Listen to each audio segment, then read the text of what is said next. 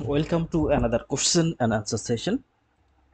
Which of the following structures suspend the spinal cord in the dural sheet? In this question, the main point is the structure which suspend the spinal cord with the dural sheet. So we have to find out the structure which suspend the spinal cord and it is connected to the dural sheet. Here the answering options filum terminale conus medullaris ligamentum flava flavum denticulate ligaments anterior longitudinal ligament.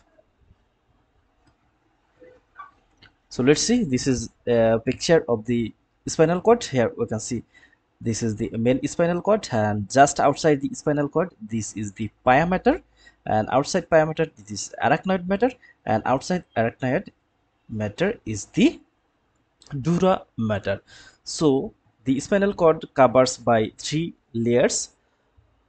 Most outside is dura mater then arachnoid mater then pia and these three are called spinal meninges.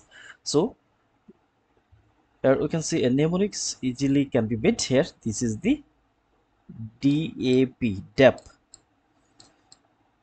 from outside inside D for dura mater A for arachnoid mater and P for pia mater in this picture we can see this is the spinal cord here. This is the spinal cord and here the